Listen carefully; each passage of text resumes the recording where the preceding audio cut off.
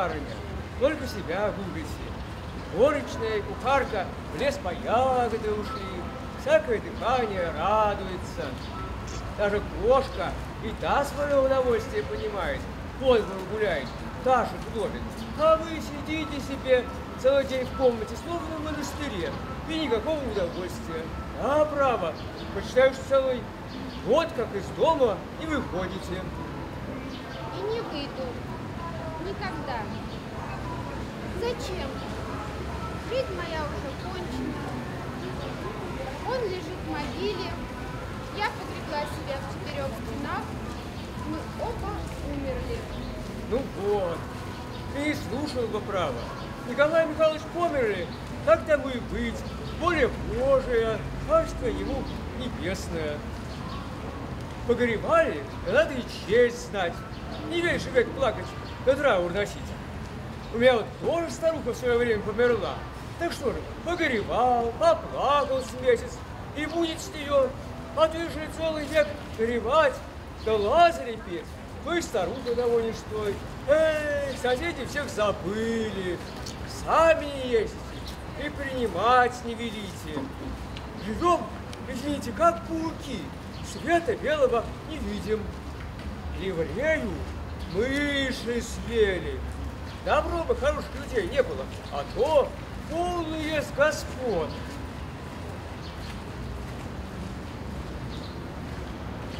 А в рыбной полк стоит, так офицеры сущие конфеты. Наглядишься. А в лагерях, что не пятница, то бал. И почти каждый день военный оркестра музыку играет. Эй, парня, матушка, молодая, красивая, кофе с молоком. Только вы пожить свое удовольствие. Красота ведь навек дадена. Пройдет годов если сами захотите плаваю пройтись. Да господам офицерам пыль глаза пустить. А поздно будет. Я попрошу тебя больше никогда не говорить мне об этом. Ты знаешь, тех пор, как умер Николай Михайлович, жизнь для меня потеряла всякую цену. Тебе только кажется, что я жива. Только кажется. Я дала себе клятву до могилы не снимать траур и не видеть света. Пусть тени увидит, как я люблю его. Да, я знаю, для тебя не тайна, что он часто бывал несправедлив ко мне, жесток и даже неверен.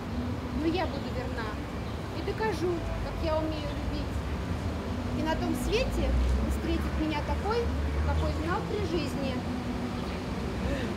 Чем он эти слова говорит? Лучше бы пошли по саду погуляли.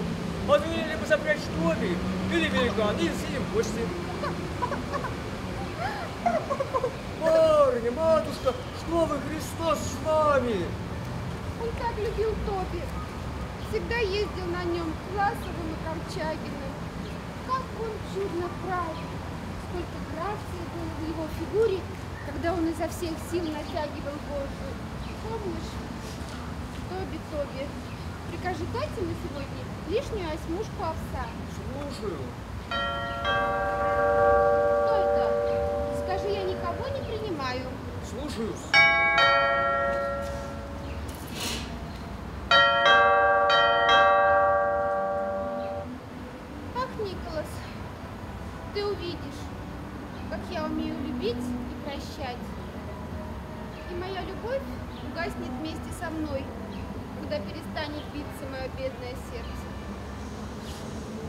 Не совестно тебе, я, твоя верная женушка, заперла тебе себя на замок и буду верна тебе до могилы.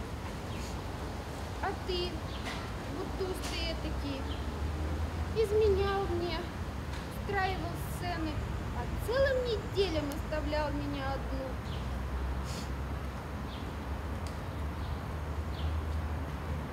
Сударыня, там кто-то спрашивает вас. Хочет видеть. Ты же сказал, что после смерти мужа я никого не принимаю. Сказал, да он и слушать не хочет. Говорит, очень э, нужное дело. Не принимаю.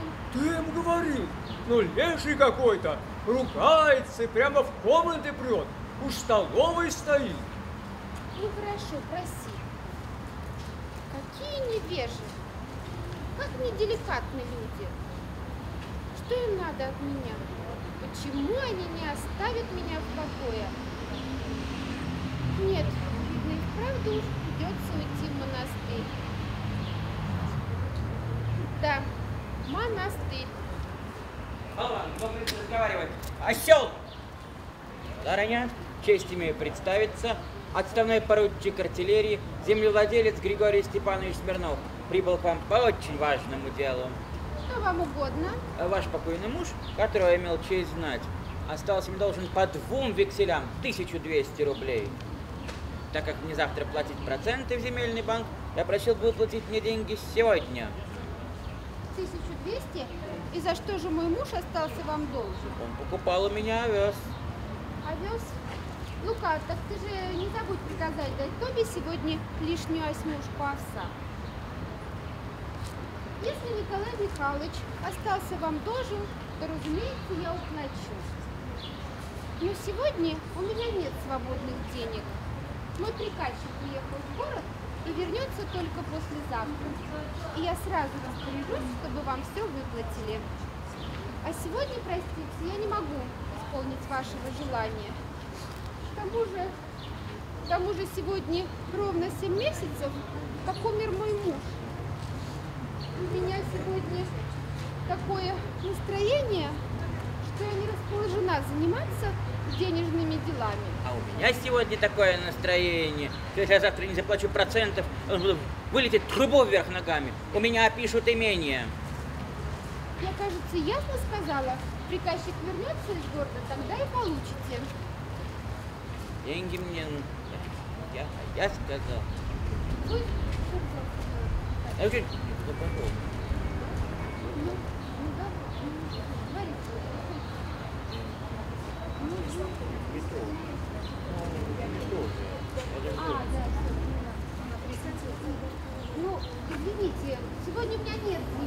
А, у меня нет может, это послезавтра.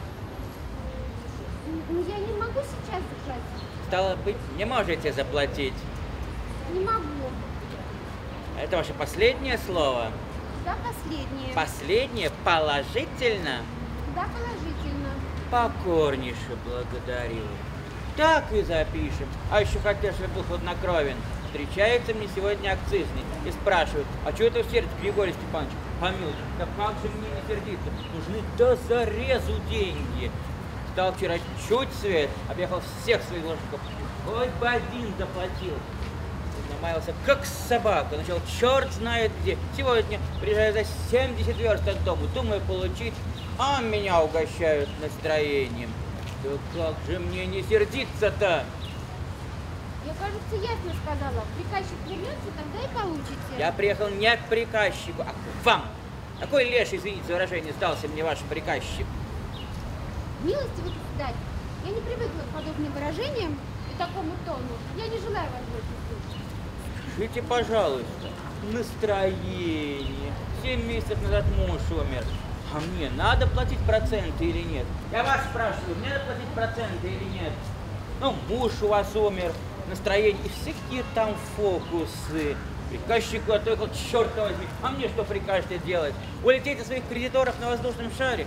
Или разбежаться и трахнуться башкой о стену? Приезжаю к Груздеву, дома нет. Ярошевич спрятался, горестным поругался, насмерть чуть в окно не вышвырнул. У Мазутова балерина, а у этой настроение. И однако Налья не платит. Все потому, что я их избаловал. Да и нюня, тряпка, папа. Слишком я с ними деликатен. Ну, погодите, узнаете меня. Я не позволю собой, что черт возьми. Останусь здесь, пока она не заплатит. Как я зол. Как уж аж поджилки трясутся. И дыхание захватило. Человек, Чего вам? принеси мне квасу или воды. Ну, какова логика? Человеку до зарезу нужны деньги, хоть свешайте, а она не платит. Видите ли, не расположена заниматься денежными делами. Настоящая женская, турнюрная логика. Вот потому-то я не любил и не люблю общаться с женщинами. Там мне легче сесть на бочку с порохом, чем пообщаться с женщиной. Ой, как мороз по коже дерет. Как меня разозлил этот шлейф. Только хоть тистель увидеть, пойти сказать, как меня уже трясет. Хоть караул кричи. Барыня больные, и не принимают. Пошел, больные не принимают, не надо и не принимай. Я останусь здесь и буду сидеть, пока не получу. Неделю будешь больна, я неделю просижу, год будешь больна, я год, я свой возьму, матушка. Меня не тронешь трауром, да ямочками на щеках. Знаем мы эти ямочки. Семен, распрягай, мы не скоро уедем. Я здесь остаюсь. Прикажи дать конюшню на себя овса. Я тебе скотина левосочетная запуталась в вожжу. Чего? Я тебе покажу, ничего. Ой, скверно, жара. А тут еще денег никто не платит. И этот шлейф с настроением.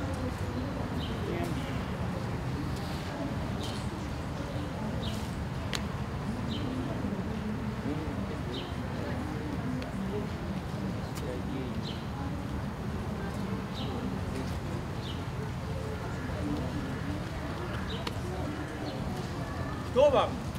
Лем.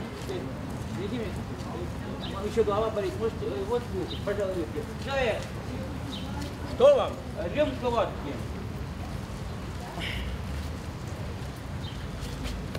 Да, нечего сказать, хороша фигура.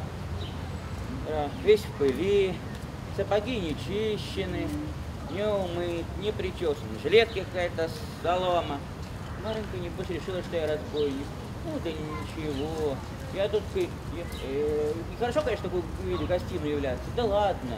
Я тут не, не, кредит, не гость, а кредитор. С кредитором же костюм не заказан.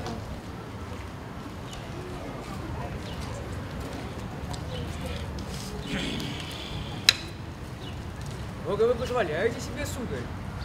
Кто? Я? Я ничего, я, Я собственно, разговариваешь? Молчать? Нависался леший на нашу голову.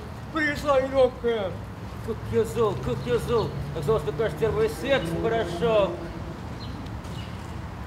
Аж дурно делается. Человек Милостивый государь, я в своем уединении давно отвыкла от человеческого голоса и не вношу. Убедительно прошу вас, не нарушайте мой покой. заплатите деньги, я уеду. Я вам русским языком сказала, свободных денег у меня нет, подождите до послезавтра. Я вам тоже русским языком сказал, деньги мне нужны не послезавтра, а сегодня. Если мне сегодня не заплатите, то завтра я должен буду повеситься. Что же делать, если меня сейчас нет? Как странно.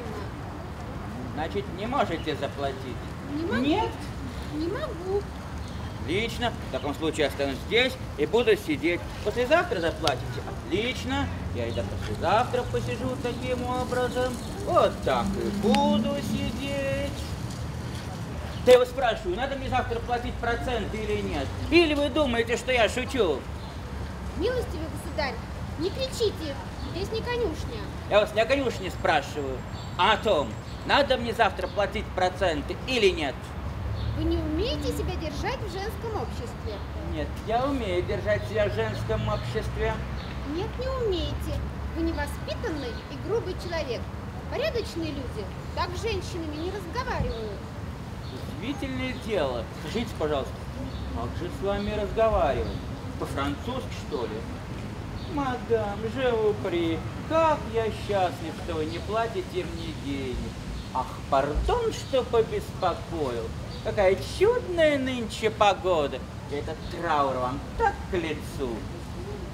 Неумно и грубо. Неумно и грубо. Я не умею общаться с женщинами. Да на своем веку я видел женщин больше, чем вы, Воробьев. Из-за трех я стрелялся. 12 женщин я бросил. Девять бросили меня. Да, было время, когда я рассыпался бисером, медоточил, шаркал ногами, вздыхал, страдал, э, любил в прошлом нежном чувстве половину состояния. Но теперь слуга покорный, теперь меня не проведешь. Очи черные, очи красные, алые губы, ямочки на щеках, луна, шепот, пробкое дыхание. Да все это я теперь и медного гроша не дам.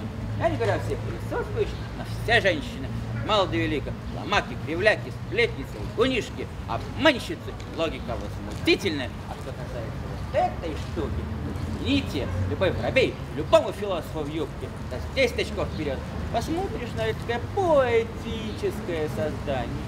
Кисия, эфир, полубогиня, миллион восторгов. А заглянешь в душу, обыкновеннейший крокодил. Самое возмутительное. Этот крокодил почему-то воображает, что его привилегии – нежные чувства. Да повесьте меня, черт возьми, вот на этом гвозде вверх ногами. Разве женщина умеет любить кого-нибудь, кроме баллона? Любить женщину только умеет, ныкать да распускать нюни. Там, где мужчина страдает и жертвует, там вся ее любовь выражается в том, чтобы вильнуть шлейф, крепче ухватить за нос. Скажите мне, по честной совести, честно, да. видели ли вы женщину, которая была бы искренне, верна и постоянно в любви? Не видели. Ныне постоянно. Одни только старухи, да уроды. Позвольте. Так кто же, по-вашему, верен и постоянен в любви? Не мужчина ли? Э, да, мужчина. Мужчина. Ха-ха-ха. Мужчина верен и постоянен в любви. Скажите, какая новость? Mm-hmm. Да какое право вы имеете это говорить? Мужчины верны и постоянны. В школе на то пошло? Так я вам скажу. Из всех мужчин, каких я только знала и знаю, самым лучшим был мой муж. Я любила его страстно, самозабвенно, как может любить только молодая мыслящая женщина. Я отдала ему свою молодость, жизнь счастье, свое состояние, дышала ему, молилась на него, как язычница. И что же? Этот лучший из мужчин самым бессовестным образом обманывал меня на каждом шагу.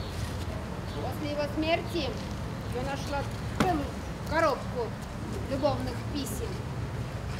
А при жизни ужасно вспомнить, по целым неделям оставлял меня одну, на моих глазах ухаживала за другими женщинами, изменял мне, сорил моими деньгами, шутил над моим чувством. Несмотря на все это, я любила его и была ему верна. Кроме того, вот он умер, а я все еще верна и постоянно. Я заперла себя в четырех стенах и до могилы не сниму траур.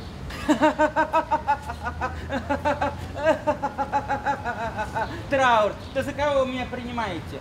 Будто я не знаю, зачем вы заперли себя в четырех стенах и надели это черное домино. Это так таинственно, поэтично. Едет какой-нибудь юнкер или куцый поэт и скажет, здесь живет таинственная Тамара, которая из любви к мужу погребла себя в четырех стенах. Знаем мы эти фокусы. Что? Да как вы смеете говорить мне все это? Вот вы погребли себя заживо, однако не забыли напудриться. Да как вы со мной разговариваете? Милочка, я вам не приказчик. Будете выражать, я выражать свои мысли прямо. А дайте мне выражать вещи своими именами называть. Не извольте кричать. Это не я кричу, а вы кричите.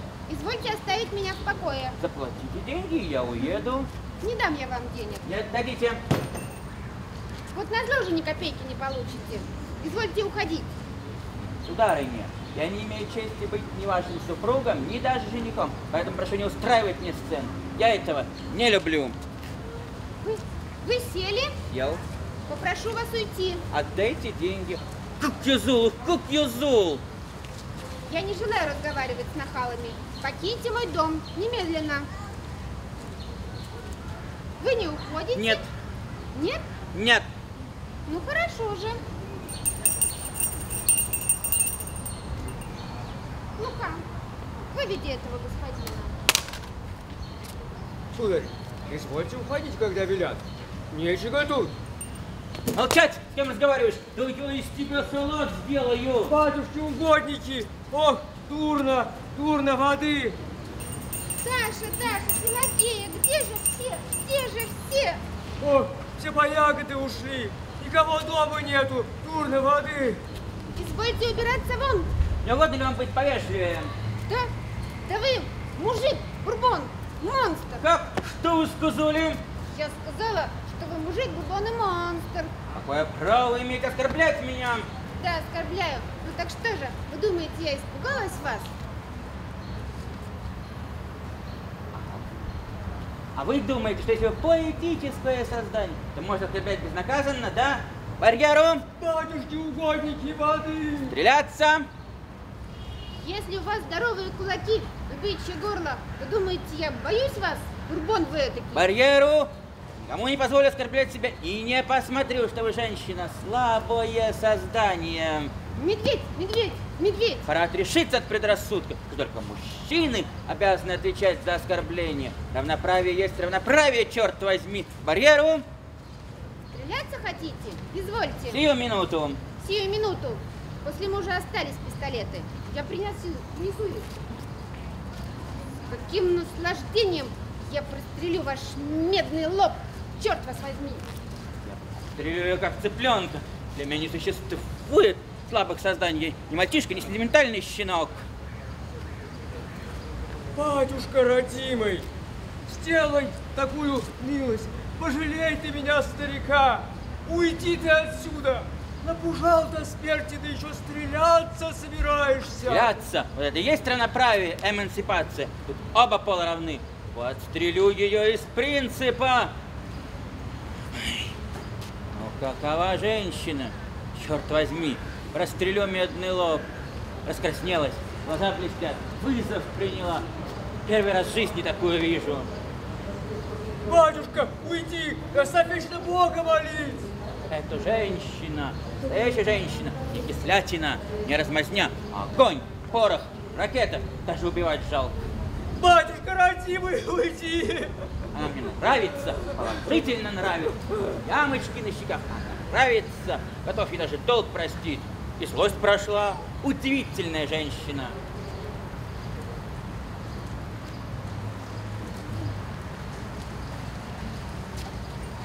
Вот пистолеты. Но прежде чем мы будем драться, извольте мне показать, как надо это делать. Я ни разу в жизни не держала в руках оружие. Спаси, Господи, и помилуй. Пойду садовника и кучера поищу. И откуда эта напасть селась на нашу голову? Видите ли, сударыня, есть несколько сортов пистолетов. Есть специально дуэльные пистолеты Мортимера, а это... Это у вас револьверы системы Смит и Вессон. Тройное действие с экстрактором центрального боя. Прекрасные пистолеты. На таким минимум 90 рублей за пару. На этот револьвер нужно так. Глаза, глаза. Зажигательная женщина. Так? Э, да, так, Расим. Вы поднимаете курок, голову немножко назад, прицеливаете, нажимаете вот этим пальцем, вот на эту штучку. Больше ничего. Но, но главное не горячиться. Целиваться не спеша. Стараться, чтобы рука не дрогнула. Хорошо. В комнатах стреляться неудобно. Пройдемте в сад. Пройдемте. Но предупреждаю, что я выстрелю в воздух, Этого еще не хватало. Почему? потому что... Потому что... А это мое дело, почему? Трусили? Нет, сударь, вы не виляйте. Извольте идти за мной. Я не успокоюсь, пока не продырявлю вашего лба, вот этого лба, который я так ненавижу. Струсили? Да, струсил. Лжете. Почему вы не хотите драться? Потому что... Потому что... Потому что...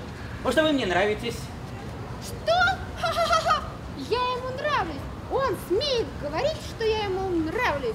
Можете? Послушайте, сударыня, вы все еще сердитесь? Я уже чертовски сбешен. Вы понимаете, такого рода история, видите ли, такое дело. То разделено, что мне нравится, понимаете? Я почти влюблен. Отойдите от меня. Я вас ненавижу. Какая женщина еще подобного в жизни не видел. Пропал, погиб, попал в мышеловку, как мышь. Отойдите прочь. Я буду стрелять. Представляете, вы не представляете, какое это счастье смереть под взглядом этих чудных глаз револьвера, который держит там маленькая бархатная ручка. Думайте и решайте сейчас, потому что если я сейчас уйду, то мы больше никогда не увидимся. Решайте. Ленин, порядочный человек, имеет 10 тысяч годового дохода, подай пулей в подброшенную копейку, имеет отличных лошадей. Хотите быть моей женой? Стреляться. Барьеру. Пропал, погиб, э, влюбился как мальчишка, как дурак. Я люблю вас. А, Люблю, как никогда не любил. 12 женщин я бросил, 9 бросили меня. Но ни одну из них не любил, так как вас. Разремонился, рассиропился, раскис. Стою на коленях, руку предлагаю, стыд и срам. Пять лет не влюблялся, дал себе зарок. И вот втюрился, как оглобля в чужой кузов. Руку предлагаю. Да или нет? Не хотите? Ну и не надо. постойте. Ну, Ничего, уходите. Впрочем, постойте. Нет, уходите, уходите. Я вас ненавижу. Или нет? Не уходите. Ах, Как я зла, как я зла. Текли пальцы от этой мерзости. Ну что вы стоите? Убирайтесь. прощайте. Да-да, уходите. Куда же вы? Постойте.